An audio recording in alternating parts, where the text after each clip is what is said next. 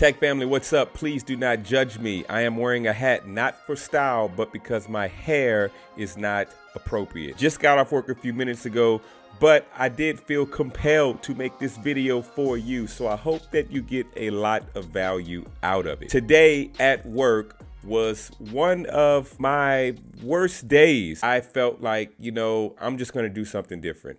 I had to restart my computer for something and maybe it was a little lazy on my part. I, I, didn't feel like pulling up my script that I normally read from. So I said to myself, you know what, forget the script. I mean, it wasn't working anyway for me today, right? If I remember correctly, on my first call, I believe, uh, I did set an appointment.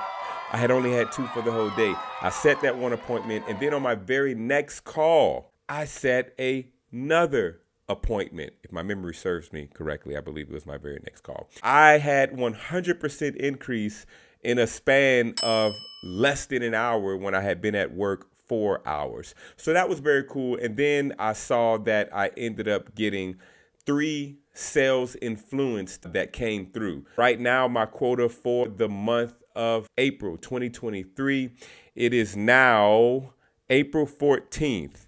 I have seven sales influenced, and my quota is eight for the month. So, tracking pretty good. Anyway, enough of that stuff. Here are the three things that I really, really, really feel like are important for you to know. The first is treat people like they are human, not an ATM machine. Treat people like they're human when you're making calls. So, what do I mean by that? Well, we know that the objective is we want to get a sale, but be willing to talk to them like you really understand that they are a person, they have feelings, they're wondering why you're calling, and they don't want to book a meeting to potentially spend money if they don't really see how it's going to benefit them. Um, so, one thing that I started doing today that I've done in the past, but I haven't been doing it recently, was asking them how they're doing. Now, is it that I care how they're doing? Well, maybe I do, maybe I don't. I don't know. My point is, I ask how you're doing more so to just engage them so that it's a little less robotic. It's a little, hey, this is why, hey, this is Justin with Intuit, and I'm on a recorded line, and my purpose for calling is this, and then just go into my spill. I'll ask them very quickly, but I say it fast because I don't want to drag out the how you're doing to give the impression that I'm about to have this drawn out conversation, taking all of their time up. So I'll start off in my regular tonality. Hey, this is Justin with Intuit calling for such and such. Then they respond, Oh, awesome. Uh, I'm calling on a recorded line. And how are you doing today? Or whenever I insert that in, you know, hey, I'm just calling you for a moment on a recorded line. How are you? I'll say, How are you? But I'm doing that to just engage them, to kind of like size them up in a sense. See, see where their their feelings are towards being on the phone. And and so once I engage them like they're a human and not just like this ATM machine that I'm talking to, this robot that I'm talking to, then I can kind of feel out how to uh, tweak my tonality and and my approach to them from there. And so, which that brings me to my my second point is work on tonality and confidence. Um, out of all of the calls that I've made so far, this is still just a central theme that I believe is so, so, so important. It's the tonality. So when I engage them and I ask them, how are you? How are you? How are you? And then depending on how they respond to me, if they respond very short to where it's kind of like, uh, I'm fine well, okay, well, just for an example, if they say something like that, well, then I know to kind of maybe speed through a little quickly, get to the point, right?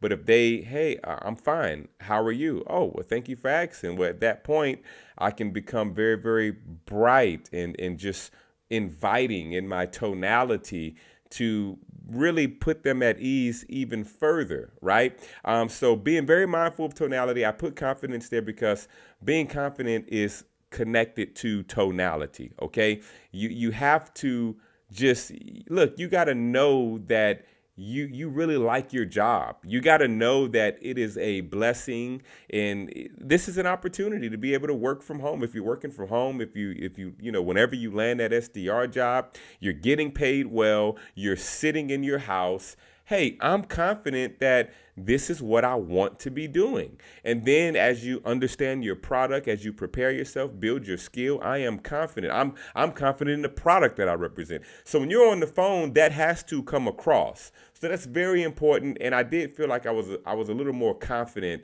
in these uh, last two appointments that I was able to book today. And so now my last point is do something different. Uh, this is still just a, this is this is just a central theme with me. Be willing. Look, and, and it sounds simple, but literally, I will stand up out of a eight-hour work shift. I might stand up for six and a half, seven of those hours sometimes and literally I'll just stand up and make calls.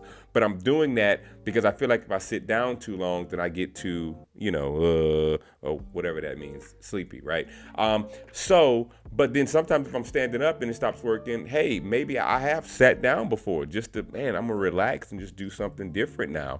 If my script is not working and if it has consistently not been yielding results, I gotta figure out how to change that script. Maybe I might need to stop making calls for a little while, study some YouTube videos real quick, go through my product knowledge, and, and start trying to put some vocabulary with my understanding of the product and in terms of how to actually ask certain discovery questions that will engage the person better and so that I can uncover some pain, help them uncover some some pains that they're having and some gain opportunities for them. So those are my three points uh, for you in terms of how to maybe get yourself out of a rut, continue to become better, yield results on your job. And yes, wish you the best. So hope you enjoyed this. Hit the subscribe, subscribe button, the like button, and see you on the next video.